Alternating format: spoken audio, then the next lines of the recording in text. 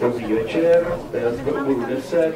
Rezignace na funkci přísedícího obvodního soudu pro Prahu 4.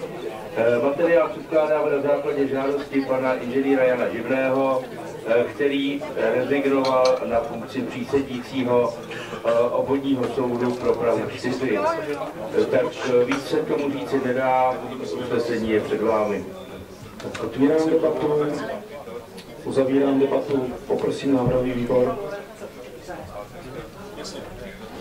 Pane předsedající, návrhový výbor neobdržel žádné další návrhy, takže můžete nechat hlasovat. Děkuji jednočlénu v tento moment návrhový výbore. Eh, Návrhového výboru vidíme všichni, o čem budeme hlasovat. Prosím, dejme hlasovat.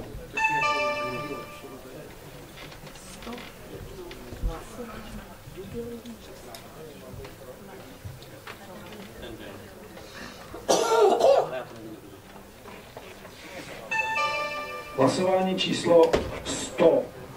Pro 30 proti 0, zdrželo se 2 a nehlasovalo 7.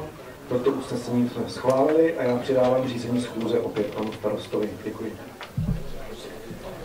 Děkuji a má jsme úvodu číslo 11, žádost SK o doplacení bytové jednotky a já prosím pana eh, zástupce Balíka, aby se ujal úvodního slova.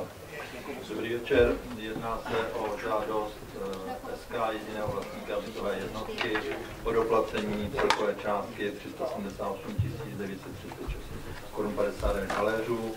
Odbory se k tomu vyjádřily kladně. Detaily máte samozřejmě materiály před sebou. Děkuji.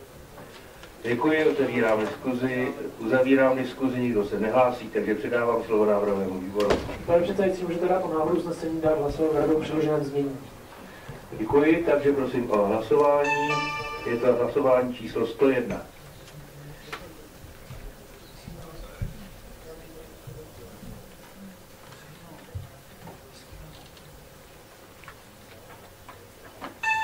Pro 26, 13 nehlasovalo, usnesení bylo schváleno.